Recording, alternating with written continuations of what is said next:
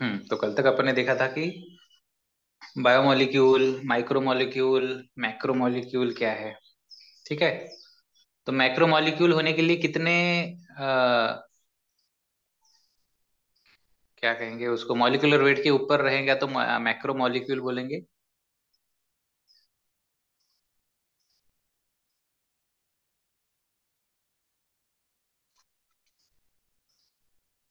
किशोरी तृप्ति, प्रदीप आचल.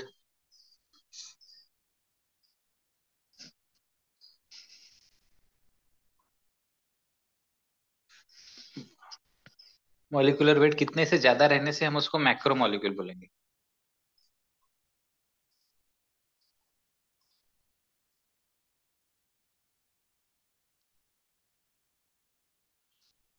Tripti?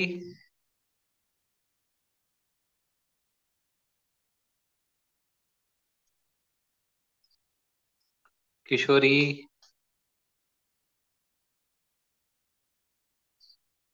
Sir one thousand dalton. हम्म ten thousand dalton. ठीक है। One thousand से नीचे है तो अपना ये माइक्रोमोलिक्यूल है लेकिन ये मैक्रोमोलिक्यूल के सारे जो है उसका मॉलिक्यूलर वेट टेन थाउज़ेंड के ऊपर ही रहता है डाल्टन। ठीक है लेकिन बढ़िया।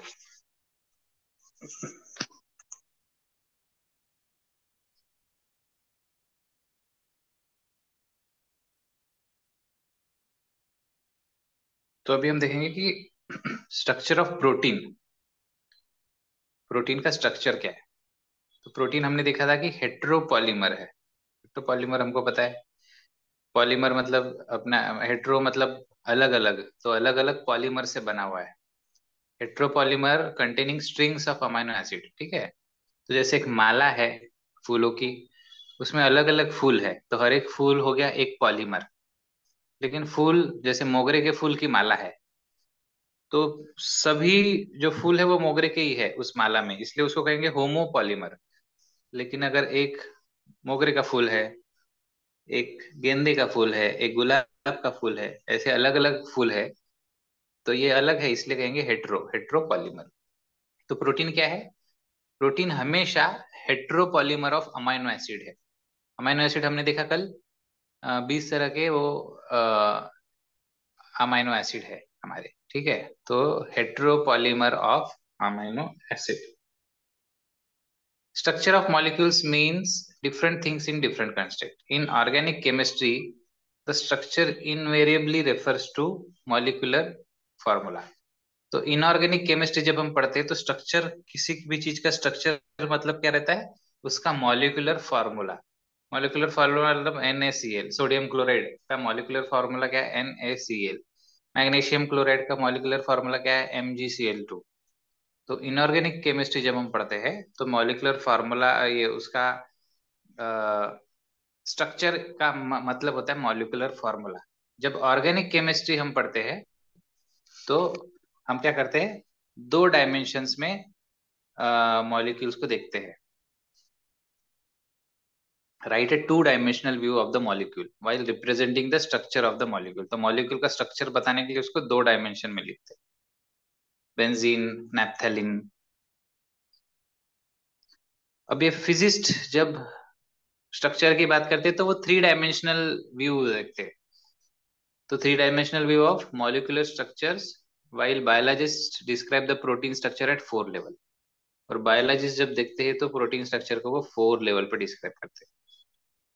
Sequence of amino acid, that is positional information in a protein. तो सीक्वेंस ऑफ़ अमाइनो एसिड मतलब सबसे पहला कौन सा अमाइनो एसिड है? सेकंड कौन सा है? पोजीशन किस पोजीशन पे है? तो इसको बोलते प्राइमरी स्ट्रक्चर जब कभी हम प्राइमरी स्ट्रक्चर बनाएँगे तो क्या बताएँगे? सीक्वेंस ऑफ़ अमाइनो एसिड और उस अमाइनो एसिड का, पहले अमाइनो एसिड का पोजीशन कौन सा है? सेकंड का क्या है? इस, ये है हमारा प्राइमरी स्ट्रक्चर तो जब हम प्रोटीन का प्राइमरी स्ट्रक्चर बोल रहे हैं मतलब क्या है? तो हम अमाइनो एसिड का सीक्वेंस बता रहे हैं। उसके बाद पहला अमाइनो एसिड कौन सा है? सेकंड कौन सा है? ये सारा चीज़ बता रहे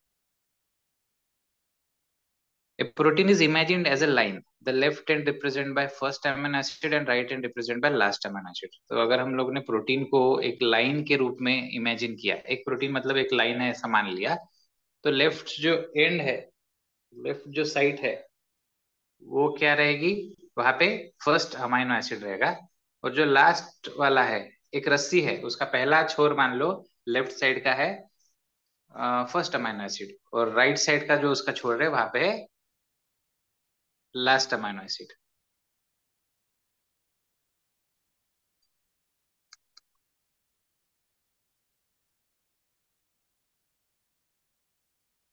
First amino acid को क्या कहते हैं? First amino acid is called as N terminal amino acid तो जो लेफ़्ट साइड में पहला अमाइनो एसिड है, उसको कहते हैं एन टर्मिनल अमाइनो एसिड और लास्ट अमाइनो एसिड को कहते हैं C terminal amino acid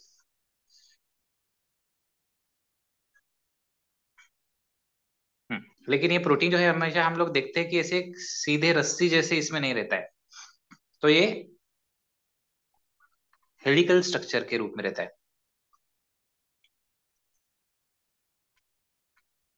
helical structure मतलब गोल गोल जो सीढ़ियाँ रहती है ना उस तरह से। हम्म, खासकर आप कहा देखोगे गोल सीढ़िया? आप देखते हो पानी की टंकी पे गोल सीढ़ी। या हेलिकल स्ट्रक्चर मतलब इस तरह से भी होता है अपना। डीएनए का जैसे हेलिकल स्ट्रक्चर है?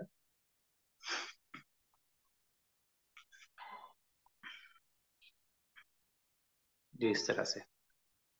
तो प्रोटीन इस तरह से हेलिकल स्ट्रक्चर में रहते है।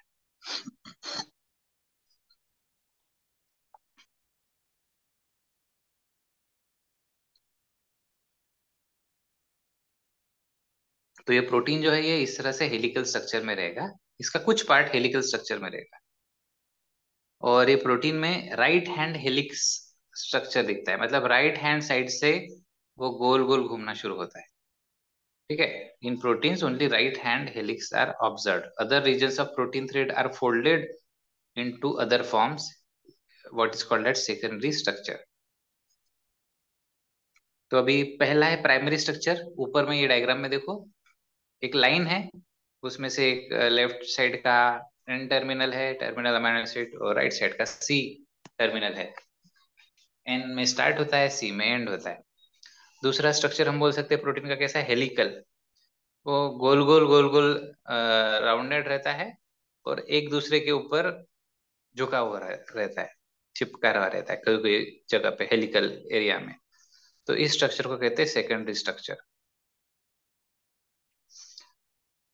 अब ये प्रोटीन चेन अपने ऊपर भी गोल सिमटी रहती है जैसे अभी आ, क्या कहेंगे उसको एक ये पूरा पढ़ लेते फिर मैं तुमको डायग्राम करके बताता हूँ In addition, the long protein chain is also folded upon itself like a hollow woolen ball, giving rise to tertiary structure. This gives us a three-dimensional view of a protein. Tertiary structure is absolutely necessary for many biological activity of protein. Some proteins are, are an assembly of more than one polypeptide or subunit. The manner in which these individual folded peptides or subunit are arranged with respect to each other. Linear string of pearls, spheres. तो इसको बोलते हैं quaternary structure. Adult human hemoglobin consists of four subunits. Two of these are identical to each other, hence two subunit of alpha type and two subunit of beta type together constitute human hemoglobin. तो चार structure है। अब चार structure कौन से कौन से है? तो ये है पहला स्ट्रक्चर सिंपल लाइन से बना है। इधर लेफ़्ट हैंड साइड में एन होगा और इधर में सी होगा। तो ये प्राइमरी स्ट्रक्चर सेकेंडरी स्ट्रक्चर क्या है? कुछ कुछ पार्ट जो है प्रोटीन का इस तरह से हेलिकल है। और ये हमेशा हेलिकल जो स्ट्रक्चर है वो राइट हैंडेड टाइप का रहता है। तो इस तरह से हेलिक्स है। ये हो गया सेकेंडरी स्ट्रक्चर अब तीसरा स्ट्रक्चर क्या है? ये हेलिकल तो है, लेकिन अपने पे ही ऐसा हेलिकल एक दूसरे पे चिपका हुआ है। मतलब कि समझो ये है एक पार्ट ठीक है, फिर यहाँ से एक और उस पर चिपका हुआ है। फिर यहाँ से निकल के और खुद पे चिपका हुआ है। तो ये इस तरह से एक के ऊपर एक चिपका हुआ है। तो ये हो गया टर्शरी स्ट्रक्चर तो ये प्रोटीन के फोल्ड है एक दूसरे के ऊपर आए हैं। जैसे कपड़े की हम घड़ी करते हैं ना, एक कपड़ा सीधा होता है, फिर उसकी एक फोल्ड की। हाँ तो दो भाग हो गए। फिर वो दो क्या फिर से फोल्ड की तो चार भाग हो गए। तो जैसे हम कपड़े की घड़ी करते हैं या चादर की घड़ी करते हैं एक के ऊपर एक, वैसे ये उस स्ट्रक्चर को कहते हैं टर्शरी स्ट्रक्चर और कॉटन में भी स्ट्रक्चर मतलब क्या? तो जैसे हीमोग्लोबिन नाम का एक प्रोटीन है, ठीक है? तो ये ह्यूमन ह्यूमन हीमोग्लोबिन है। तो ह्यूमन हीमोग्लोबिन क्या है? चार सब यूनिट से बनता है, जिसमें का दो सब यूनिट रहते हैं वो अल्फ़ा रहते हैं और दो सब यूनिट बीटा रहते हैं। अब ये एक दूसरे से भी चिपके है ना, ये एक दूसरे से भी जुड़े हैं। तो ये जो उनका जुड़ने का तरीका है, इस और इससे बनता है एक हीमोग्लोबिन। तो इस स्ट्रक्चर को बोलते हैं, जहाँ पे अलग अलग पॉलिपेप्टाइड सब यूनिट्स एक दूसरे से जुड़े हैं, इनकी असेंबली या इनका पोजिशन कैसा है। तो ये हो गया हमारा क्वार्टरनरी स्ट्रक्चर तो primary structure simple line helical structure secondary structure है। और एक के ऊपर एक arrangement folding of protein chain on each other ये है टर्शरी स्ट्रक्चर और अलग अलग पॉलीपेप्टाइड या सब यूनिट एक दूसरे के साथ जो जुड़े रहते हैं फोल्डेड रहते हैं, वो है हो गया अपना quaternary structure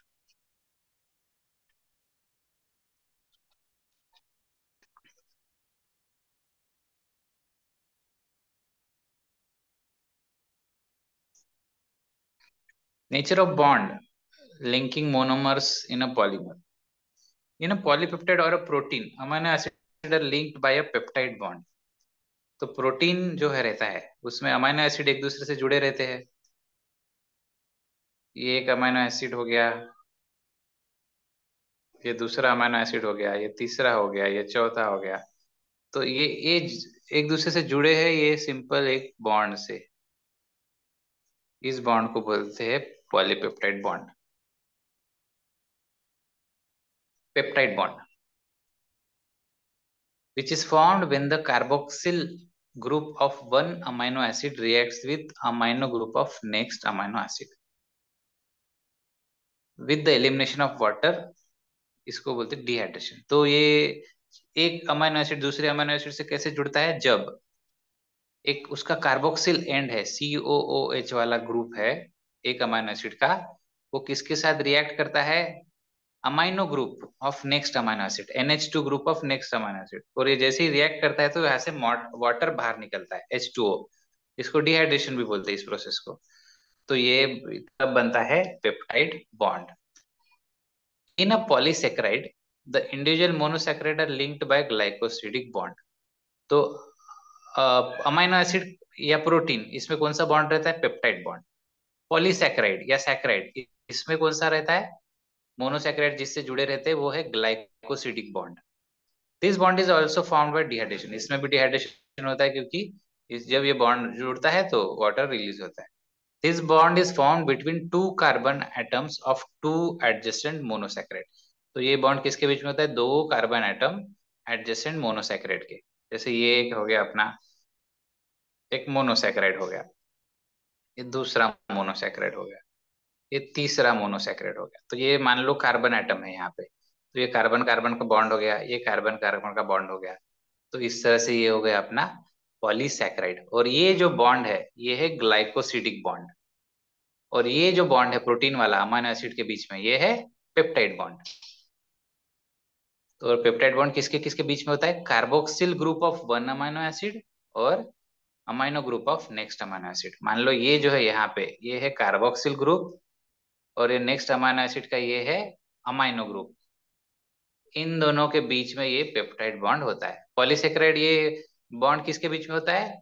बस दो कार्बन एटम यहाँ पे एक है, यहाँ पे एक है। यहाँ पे कार्बन कार्बन रहने चाहिए, उन दोनों के बीच में ग्लाइकोसिडिक बॉन्ड हो जाएगा। इन्हें न्यूक्लिक एसिड अब न्यूक्लिक एसिड है। न्यूक्लिक एसिड क्या हो गया? इसमें a phosphate moiety links the third carbon of one sugar, of one nucleotide, to fifth carbon of the sugar of succeeding nucleotide. तो न्यूक्लिक एसिड में क्या होता है? किसके किसके बीच में बॉन्ड होता है? थर्ड कार्बन जो तीसरा नंबर का कार्बन है, एक न्यूक्लियोटाइड में, वो किसके साथ जुड़ता है? पाँचवें नंबर के कार्बन के साथ तो नेक्स्ट शुगर जो है, उसके साथ ऑफ़ द सक्सीडिंग न्यूक्लियोटाइड तो थर्ड और फिफ्थ ये लोग जुड़ते हैं। The bond between the phosphate and hydroxyl group of sugar is an ester bond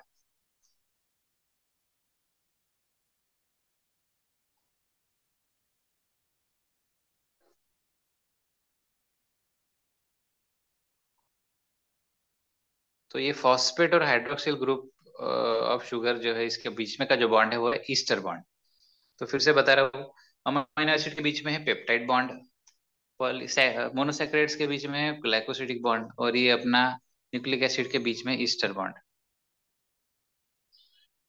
और इसमें ये दो ईस्टर बॉन्ड रहते हैं, इसलिए इसको बोलते हैं phosphodiester bond. nucleic acid exhibit a variety of secondary structure. For example, one of the secondary structure exhibited by dna is uh, Crick model DNA का मॉडल है। तो डीएनए न्यूक्लिक एसिड जो है अलग अलग सेकेंडरी स्ट्रक्चर बताते हैं। This model से that DNA exist as a double helix तो ये जो नीचे फाइव और थ्री लिखा है डबल हेलिक्स तो ये डीएनए जो है इस तरह से दिखाया जाता है जिसमें डबल हेलिक्स रहती है। डबल हेलिक्स क्या है? तो ये जो है वो सिंगल हेलिक्स है। एक ही चीज़ है वो सांप जैसी ऐसे गोल गोल घूम रही है। डबल हेलिक्स मतलब क्या? इस तरह से। ये है डबल हेलिक्स।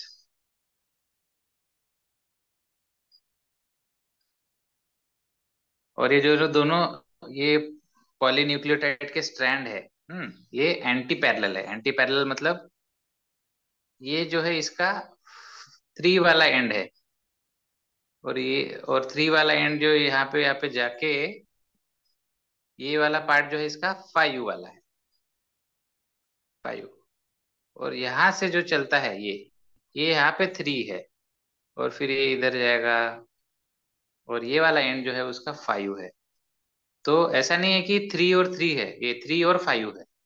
तो थ्री ऊपर से नीचे आएगा और नीचे का पार्ट जो है वो फाइव फाइव डैश एंड है।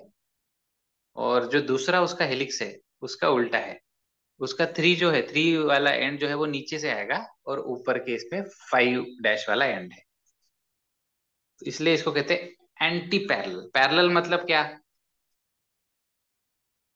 थ्री इधर है, इधर भी थ्री है, इधर फाइव है, इधर भी फाइव वाला एंड है। ये हो गया स्ट्रेट लाइन का पैरेलल दोनों भी सेम सेम है। स्ट्रेट लाइन का पैरेलल है, ठीक है? अब हेलिकल का पैरेलल क्या रहेगा? हेलिकल का पैरेलल ऐसा रहेगा।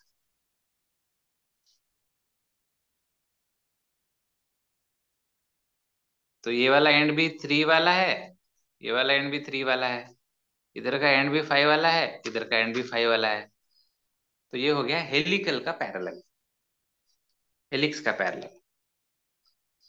अब हमने देखा कि डीएनए तो एंटी पैरेलल है हेलिकल का। तो हेलिकल का एंटी पैरेलल मतलब क्या? है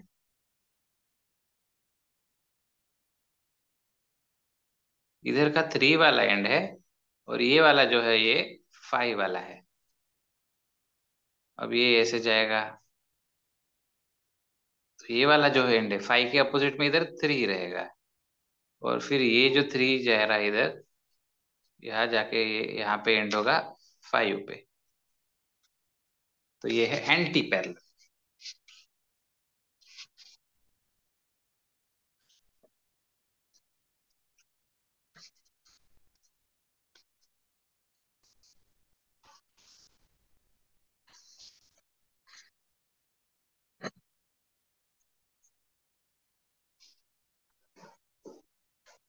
the backbone is form by sugar phosphate sugar chain इसका जो बैकबोन है, वो किससे बनता है? Sugar phosphate sugar chain nitrogen bases are projected more all less perpendicular to this backbone but face inside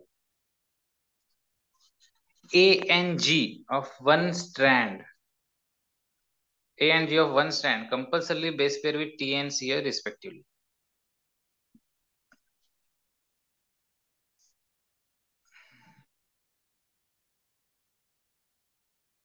तो ए किसके साथ पेयर करता है? टी के साथ। ए क्या है? एडिनिन और टी क्या है? थायमिन तो ये एडिनिन और सी साइटोसिन ये एक दूसरे के साथ कभी नहीं जुड़ेंगे। ए जब रहेगा तो वो जी के साथ ही जुड़ेगा। ए टी के साथ ही जुड़ेगा। तो एडिनिन हमेशा थायमिन के साथ ही पेयर बनाएगा और ग्यूनिन हमेशा साइटोसिन के साथ ही पेयर बनाएगा। A is equal to T C is equal to G और ए और टी के बीच में डबल बॉन्ड है। देखो, दो लाइन है। यहाँ पे देखो, दो लाइन है और सी के बीच में तीन लाइन है। तो C is equal to G तो इसमें ट्रिपल बॉन्ड है। These are two hydrogen bond between A and T and three hydrogen bond between G and C. तो इनके बीच में हाइड्रोजन बॉन्ड है ए और टी के बीच में और जी और सी के बीच ए और टी के बीच में डबल बॉन्ड है, दो हाइड्रोजन बॉन्ड है और सी और जी के बीच में तीन हाइड्रोजन बॉन्ड है। Each strand appears like a helical staircase तो ये हमेशा ये हेलिकल स्टेयरकेस जो है ये सीढ़ियों जैसा रहता है। Each step of ascent is represent by a pair of base तो जैसे जैसे हर एक पेयर में, एक बेस पेयर है ना ये? ये देखो अभी इसको अच्छे से देखते हैं हम लोग।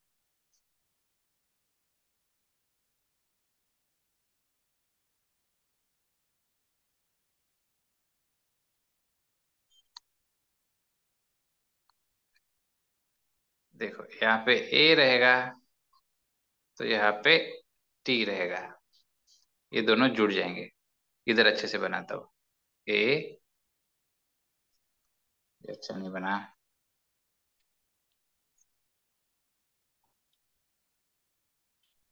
ए है ए और ये है जी यहाँ पे जुड़ गए डबल बॉन्ड से।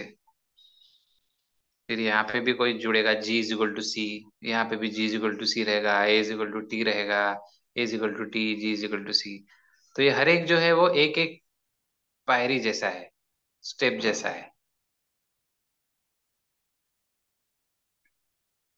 सो so, जो ये एक टर्न रहता है ये एक यहाँ से लेके यहाँ एक टर्न हुआ ना यहाँ पे रहते हैं तो ये है बेस ये नाइट्रोजन बेस है। अब ये दोनों है साथ में, इसलिए बोलते हैं इसको बेस पेयर। तो ये एक बेस पेयर हो गया, यहाँ पे एक बेस पेयर हो गया। A is equal to D G is equal to C A is equal to T ऐसे यहाँ पे, यहाँ से लेके यहाँ तक, ये जो एक टर्न होता है ना, यहाँ से लेके यहाँ तक, इसमें रहते दस टेन बेस पेयर। तो इसका जो pitch the pitch would be thirty four angstrom आता है। तो इसलिए हर एक दो बेस पेयर के बीच में मतलब यहाँ से लेके यहाँ तक कितना है? थर्टी फोर एंगस्ट्रॉम यूनिट तो फिर ये दो बेस पेयर के बीच में की जगह कितनी है? Thirty four divided by ten कितना आएगा? थ्री पॉइंट फोर तो यहाँ से यहाँ तक का जो स्पेस है वो थर्टी फोर एंगस्ट्रॉम और इन दो बेस पेयर के बीच में का जगह जो है वो है three point four angstrom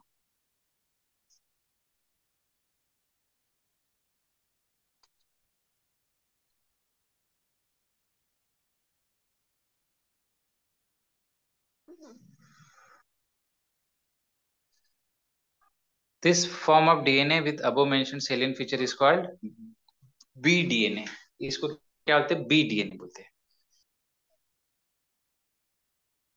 तो ऐसे बहुत सारे अलग अलग डीएनए हैं, लेकिन ये जो हमने अभी देखा है, वो है बी डीएनए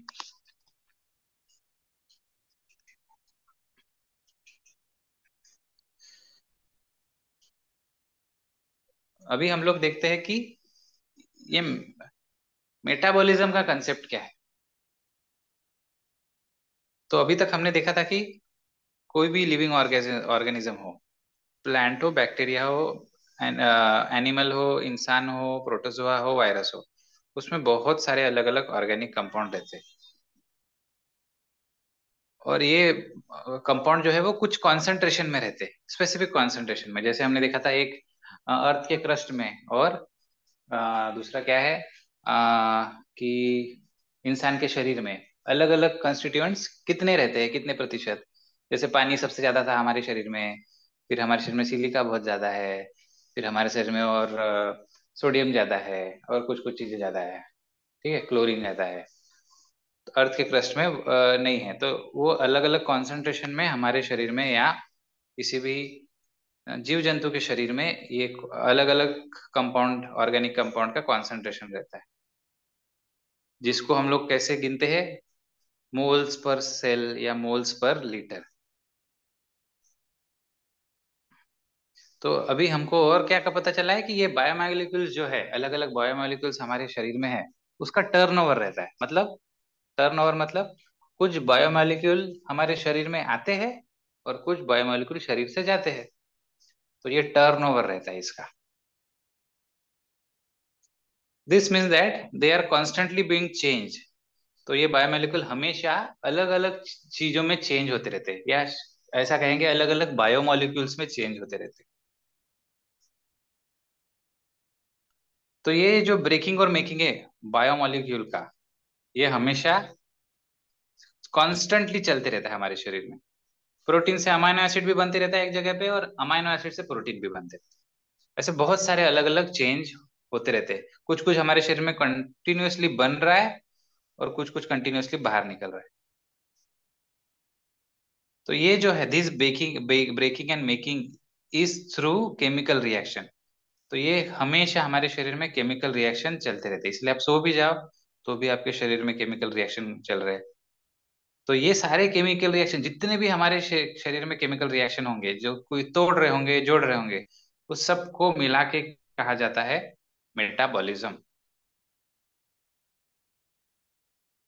तो ये सब जो है, ये है मेटाबॉलिज्म कुछ कुछ एग्जाम्पल्स है मेटाबॉलिज्म या ट्रांसफॉर्मेशन के, इस क्या कहेंगे उसको? Removal of carbon dioxide CO two from amino acid तो जिससे क्या हो जाएगा? अमाइनो एसिड किसमें बन जाएगा? अमाइन में.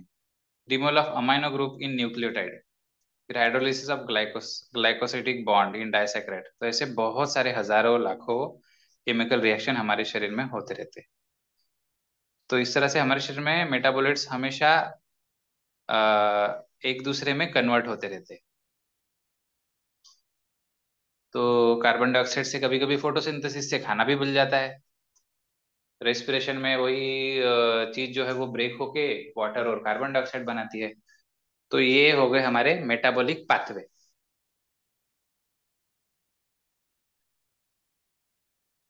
तो ये पाथवे में बहुत सारा ये रहता है, ऐसा नहीं कि सिंपल ये पेट में गया और ये निकलेगा, ऐसा नहीं रहता है फैक्ट्री जैसा।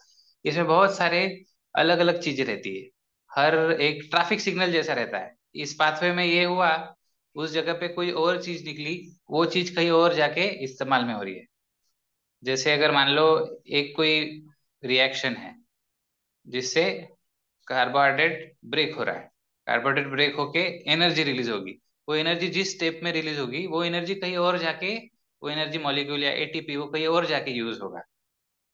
तो इस तरह से वो होता है और कहीं और जाके उस स्टेप में एनर्जी मॉलिक्यूल यूज़ होने वाला है तो वो वहाँ पे जाके जुड़ जाएगा। इस तरह से बहुत सारी चीज़ें एक साथ हो रही है और सब एक दूसरे से जुड़े हुए हैं।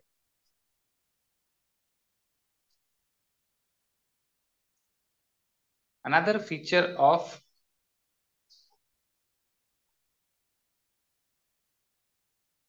another feature of metabolic reaction is that every chemical reaction is catalyse reaction तो हर एक केमिकल रिएक्शन जो है कैटेलाइज रिएक्शन है।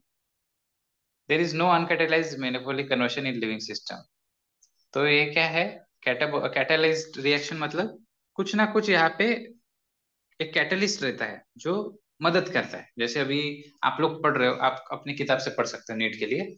अभी हम लोग आपको क्या कर रहे हैं? सिर्फ़ और अच्छा समझने के लिए मदद कर रहे हैं ताकि आपको जल्दी समझ में उसी तरह से कैटलिस्ट का काम क्या रहता है कि अलग अलग जो चीज़ें हैं, जो रिएक्शन होने वाले, उसको और फास्ट कर देता है। तो ये ऐसे बहुत सारे कैटलाइजिंग एजेंट रहते हैं। कभी कभी इनको हम लोग क्या बोलेंगे उनको कुछ कुछ प्रोटीन विथ कैटेलिटिक पावर उनको एंजाइम बोलते हैं। तो ये स्पेसिफिक कैटेलाइजिंग एजेंट रहते हैं जो कोई भी रिएक्शन को थोड़ा और फास्ट कर देते हैं।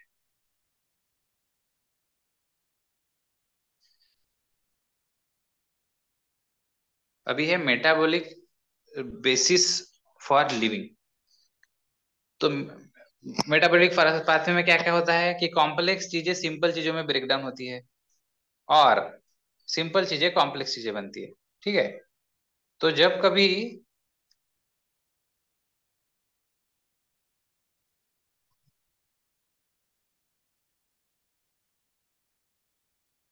हाँ तो जब कभी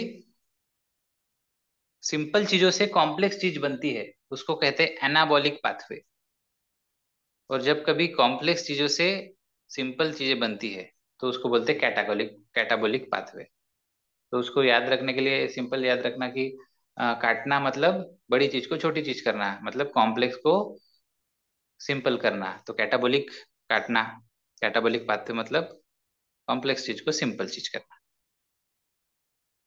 तो कॉम्प्लेक्स चीज़ को जब सिंपल करते हैं तो उसमें बहुत सारी एनर्जी निकलती है रिलीज़ हो जाती है। और जब सिंपल चीज़ को कॉम्प्लेक्स बनाते हैं तो उसमें बहुत सारी एनर्जी कंज्यूम हो जाती है।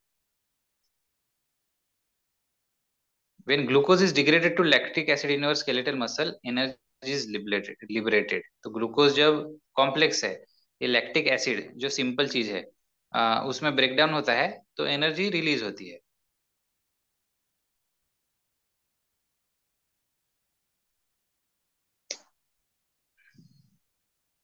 The most important form of energy तो ये एनर्जी रिलीज़ होती है। तो एनर्जी रिलीज़ होगी तो जैसे अपने दुनिया में आ, लोगों के पास कितना पैसा है या ये है इसके लिए क्या है हम लोग करेंसी यूज़ करते हैं। पैसा है रुपया। कोई लोग डॉलर यूज़ करते होंगे कोई लोग पाउंड दूसरे दूसरे देशों में अलग अलग रुपया है। वो कागज़ की एक नोट दिखाने से हमको पता चलता है कि अच्छा इसके पास दस रुपया है इसके पास सौ रुपया है और वो सौ रुपये की चीज़ उसको हम देते हैं। हो गया करेंसी हो गई।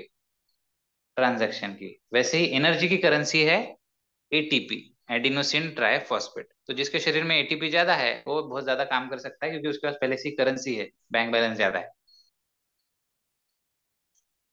तो ये हो गया मेटाबॉलिक बेसिस फॉर लिविंग जिसमें तीन मेन चीज़ें एनाबॉलिज्म क्या है कैटाबॉलिज्म क्या है?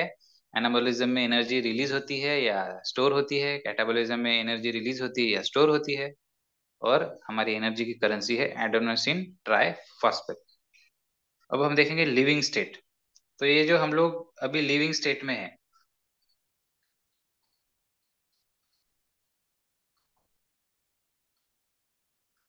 तो इस लिविंग स्टेट में हमारे शरीर में जो भी बायोमोलिक्यूल्स है, उनका एक स्पेसिफिक रेंज रहता है।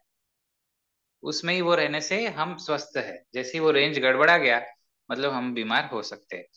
जैसे ब्लड कॉन्सेंट्रेशन ऑफ़ ग्लूकोज है, वो कितना रहेगा? 4.2 मिलीमोल पर लीटर से 6.1 मिलीमोल पर लीटर हार्मोन्स जो है वो नैनोग्राम्स में रहेंगे। तो ये बहुत सारे जो अलग अलग मेटाबोलाइट्स है वो उसका अलग अलग कॉन्सेंट्रेशन रहता है।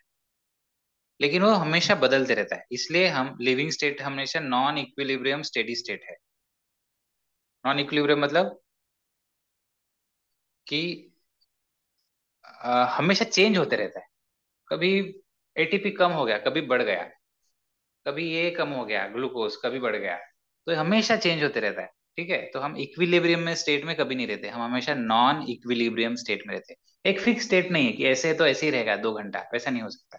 अपने शरीर में कंटिन्यूस कुछ तो बदलते रहता है। इसलिए हम नॉन इक्विलिब्रियम स्टेडी स्टेट में हैं, तभी हम काम कर पाते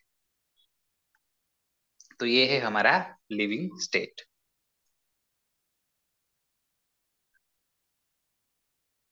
और अभी ये आ गया एंजाइम्स तो हम लोग फिर एंजाइम्स का जो है वो कल पढ़ के कल खत्म कर देंगे। कल या परसों खत्म कर देंगे।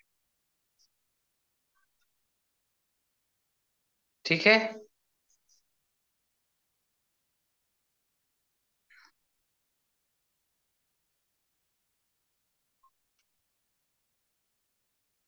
आंचल, किशोरी, प्रदीप, सतीश, स्वप्निल, तृप्ति।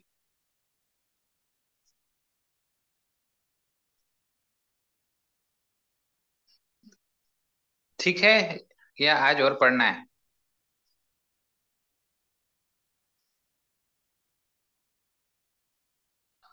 आवाज़ नहीं आया किसी का। ठीक है सर। ओके तो ये पढ़ के आओ। अभी जितने दिन भी जो भी पढ़ा है मैंने फिर जो भी डाउट है वो पूछ लो फिर ठीक है? कल फिर हम फिर से छह बज के पाँच मिनट पे शुरू करते हैं ओके? ओके ठीक हाँ।